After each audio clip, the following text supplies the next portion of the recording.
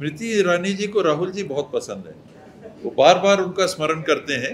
वो उनका, उनकी सराहना करती होंगी, उनको विशेष तौर पे ध्यान उनका हमेशा राहुल जी की तरफ़ केंद्रित रहता है। प्रधानमंत्री जी ने या स्मृति ईरानी जी ने जब छत्तीसगढ़ की बात की तो उत्तर प्रदेश की बात क्यों नहीं की? एक बात गुजरात में बलात्कार नहीं होते क्या? तो राजस्थान की बात की, गुजरात की बात क्यों नहीं की? एक सामान्य बलात्कार की ये घटना या दुराचार की घटना नहीं है।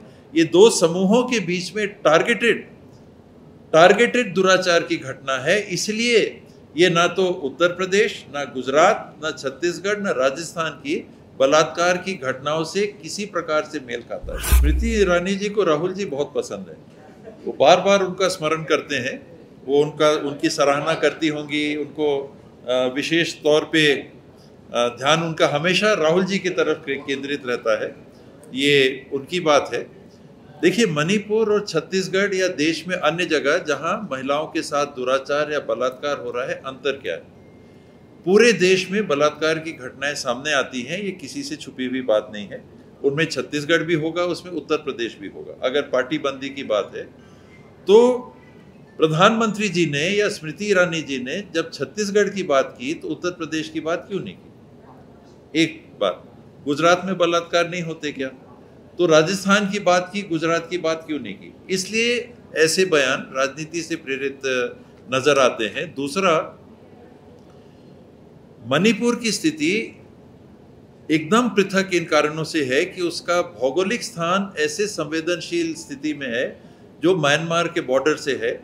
वहाँ मैं भी चुनाव के दरमियान मुझे भी ड्यूटी दी गई थी, मैं एक, कुछ समय के लिए वहाँ गया था। और यही चर्चा सामने आई।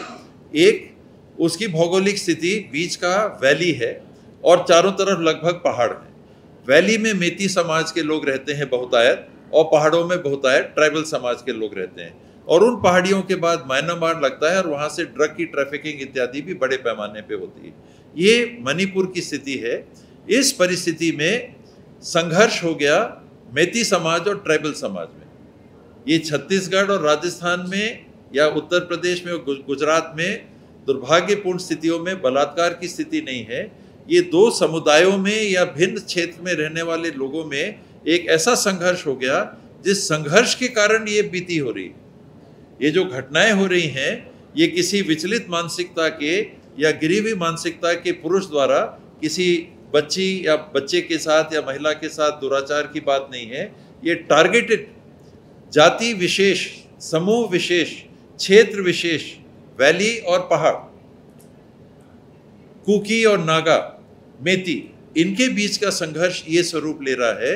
और बात उस समय से बात आई जब ये वायरल वीडियो चालू हुआ कि चार मई को ये घटना घटित हुई।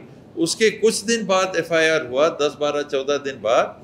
और 77 दिन बाद संज्ञान में लेके कार्रवाई की गई। एक सामान्य बलात्कार की ये घटना या दुराचार की घटना नहीं है।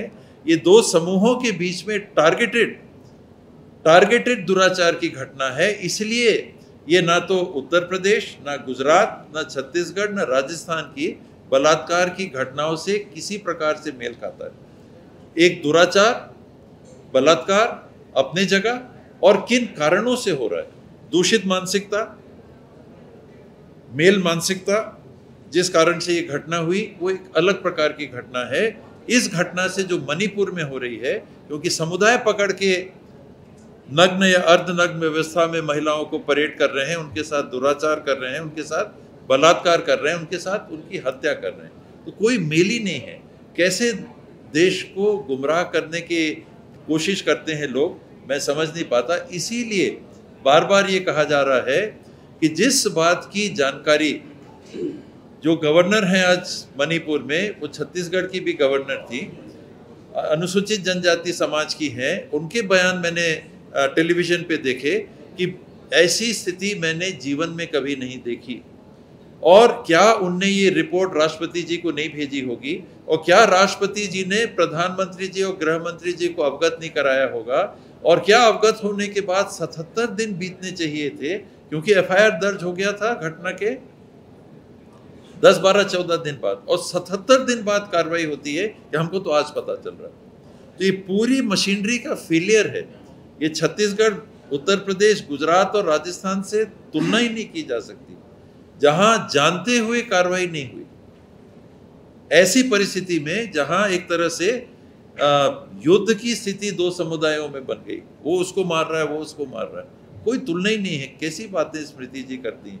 इसी मामले में मणिपुर के इसी मामले में एक वीडियो और आया है स्थानीय विधायक के गनमैन ने उनकी जनजाति के युवक डेविड की गला काट के उसको बाँस में लटका दिया। स्थानीय विधायक वही चीज़ है। कोई भी व्यक्ति हो अब मामला क्या है?